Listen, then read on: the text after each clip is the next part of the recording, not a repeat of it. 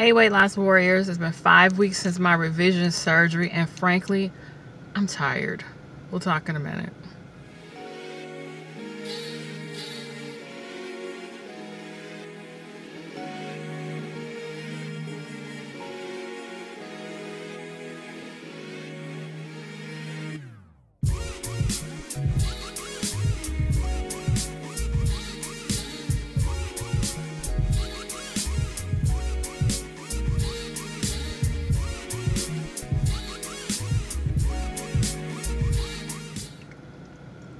Thanks for tuning in again to the Working Girls Guide to Weight Loss Surgery. Be sure to follow me on all of my channels. Uh, hit the notification button, the little bell on YouTube so that you can get my videos first before they're even posted to my uh, WordPress blog. So, like I said, I'm tired. I, I came back to work after two weeks and knew very early on that that was a mistake. Um, I was back to work after my sleeve in 10 days. So I thought I'd be okay with two weeks, but I completely underestimated how much pain I would be in um, from the hernia repair and the revision surgery. And, you know, generally when I've had surgeries before by week three, I'm, you know, pretty tired. I think, you know, the shock of surgeries kind of wears off on you. So I anticipated being tired at week three and it really wasn't too bad. I was it was a little overwhelming at times trying to get my fluids in and focus on my protein. But really, um, four and a half weeks out uh, into my fifth week here, and I'm really tired. I'm getting like nine hours of sleep, and um, I'm pretty exhausted. I'm I'm doing good about my vitamins, so I know that's not the issue, but um, I'm I'm noticeably tired. Um, I do see my surgeon next week. I don't know if I'm due for some blood work or, or what have you, but um, yeah, I'm tired. So um, we'll talk numbers. So at the start of my pre-op diet, I weighed in at I think 208.8. Start of surgery was uh, 170.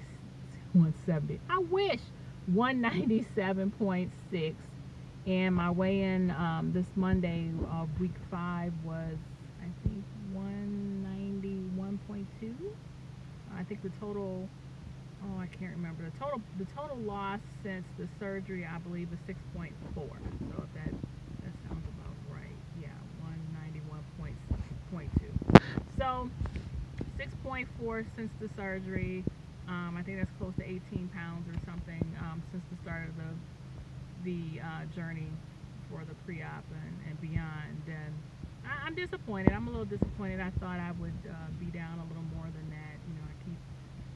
I, am going to stay off of these these uh, revision blogs uh, groups because it's really it's really frustrating. I kind of talked about that in the last video, but um, I'd love to have seen a little more progress. I am starting, I think, to uh, get the, the scale moving. I'm back on my hormone replacement therapy and I started moving. I signed up for a Denise Austin four-week walking challenge, and it's free. You can go to her site. You can Google uh, Denise Austin walking challenge, and it'll come up. It just started uh, Monday, September 30th, so um, you still have time to to sign up and get her tips. Uh, she does have the free component. You don't have to pay for the you know extra member benefits or whatever she's advertising.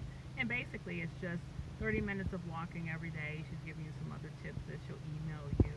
And it's just something to follow and stay motivated and get moving. I, I went and walked with my daughter and my granddaughter yesterday. We got 30 minutes in and uh, I walked today at work. I broke it up into 15 minute intervals and um, yeah, I just took a slow pace. I'm not trying to hurry up. I'm not pushing myself to go a fast pace. I think it took me I think I, the first quarter mile that I walked, it took me like eight minutes, which is, you know, several minutes less than what it normally would take me. So that's fine. I um, I met my step goal. I reduced my step goal down to I think 5,000 steps a day while I'm trying to recover. And um, I know other people are really pushing themselves and doing a lot more after revision surgery, which is fabulous. I applaud all of you.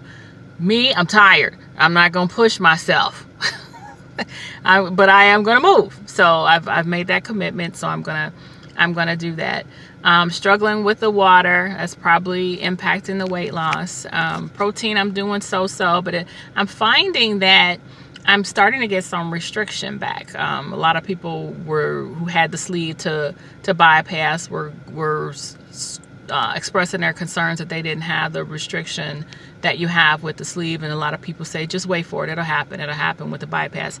And it seems like it might be happening now for me. I'll take a couple of bites and um, start getting indications that I'm full.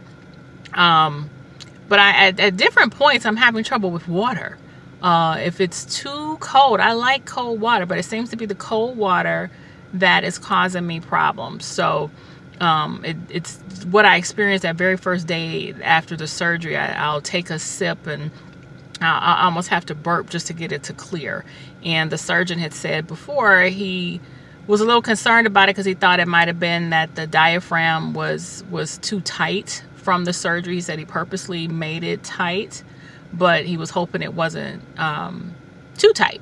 So by the second day or so, it, it had gone away, and I didn't have any additional um, signs of it. So I thought, and he thought we were all right. But I've, I've noticed that uh, for the last several days when I'm drinking cold water, not necessarily if I'm drinking um, cooler water. So that just might be what I need to do in the interim. I'm praying and hoping that it's not some signs of, of reflux um, returning or have never truly gone away. So um, I think that's it for now.